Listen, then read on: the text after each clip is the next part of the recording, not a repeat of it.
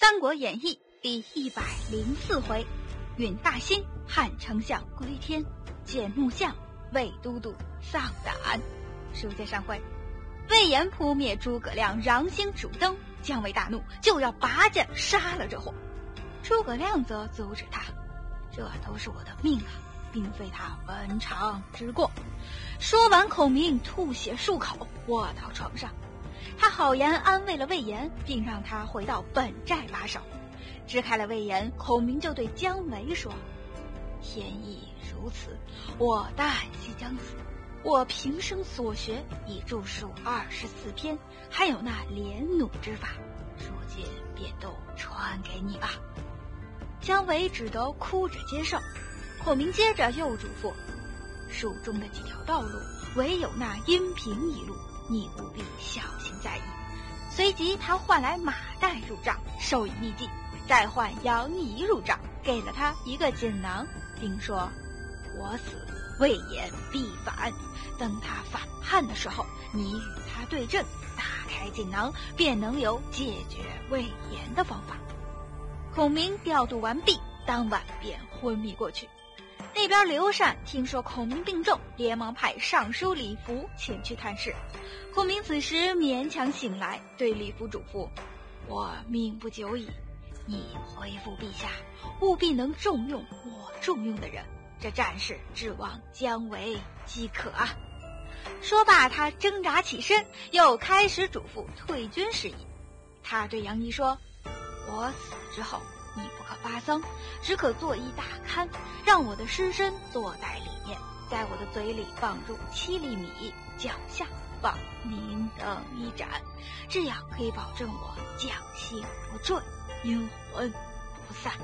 若那司马懿来追，就将我先前雕刻的木像放在车上，推出去让那司马懿看到，他必然惊疑，不敢再追你们了。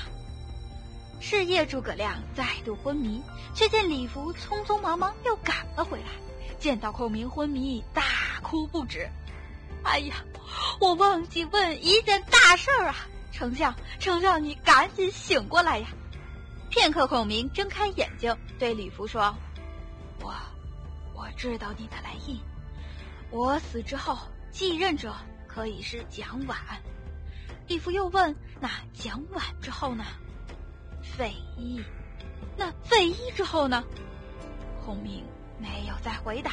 众人凑近观视，孔明已然去了。十年秋八月二十三日，诸葛亮终年五十四岁。当晚愁云惨淡，月色无光。司马懿夜观天文，见孔明的将星坠于蜀军营中，复又升起。司马懿大喜，哎呀，这诸葛亮！终于挂了，随即他传令大军追击。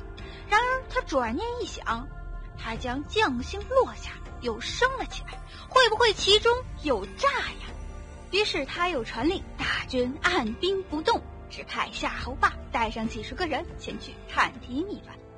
且不说夏侯霸一路飞奔，但说回蜀军，诸葛亮死了，魏延就觉得自己终于有出头之日了。他就问费祎：“现在谁代理丞相大事啊？”费祎则回答：“是杨仪代理，姜维断后。”魏延就怒了：“这两个人算个屁呀！丞相死了，不还有我吗？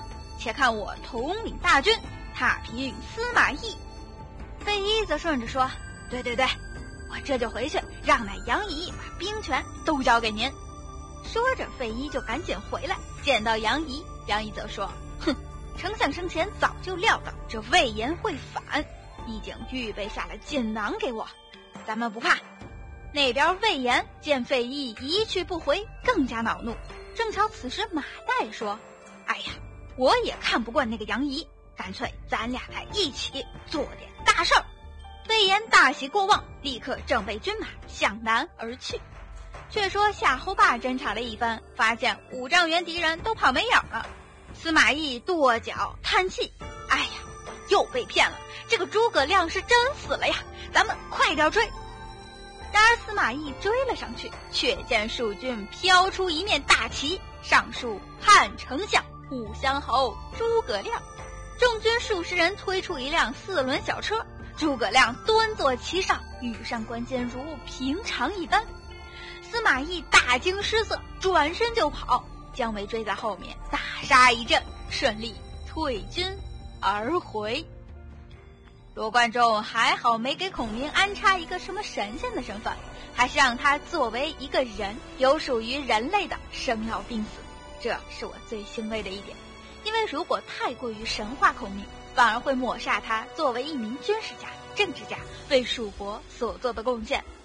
从刘备托孤开始，诸葛亮东奔西走，七擒孟获，平定南方，六出祁山，北伐曹魏。可以说，诸葛亮剩下的这段生命。都在为兴复汉室、还于旧都而努力着。其实，三国中最让我感动的君臣，一对儿是曹操、郭嘉，一对儿便是刘备、孔明。这两对儿都是君善用，臣之恩，是为知己者死。乱世之中，能有一人懂你、信你，把自己的事业交给你，这辈子就算鞠躬尽瘁，也死而无憾了。但如今孔明身死，魏延反叛，接下来蜀国又会发生些什么呢？咱们下回分解。